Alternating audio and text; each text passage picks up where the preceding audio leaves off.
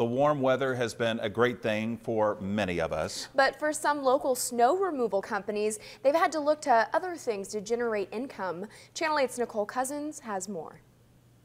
Mother Nature has been kind to Nebraska lately, but all the warm winter weather isn't all sunshine and daisies for local snow removal companies. We do about 8 to 12 plows in a winter between November, December into early March. So, and we've done one this year. Jim Bierbauer owns JB's Landscaping and Lawn Care. He says his 8 to 12 employees make up to $10,000 every time it snows enough for plows to hit the streets. With this dry weather, it's putting his company out between 70 and $110,000 this season. We're kind of getting to the point where we kind of wish it did snow a little bit.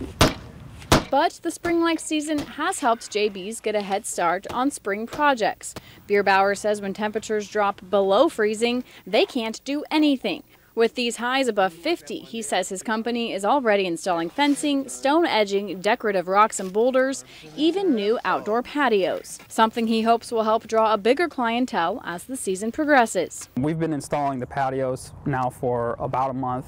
Last year, our first project we started at the beginning of March, so we're almost a full month ahead of schedule.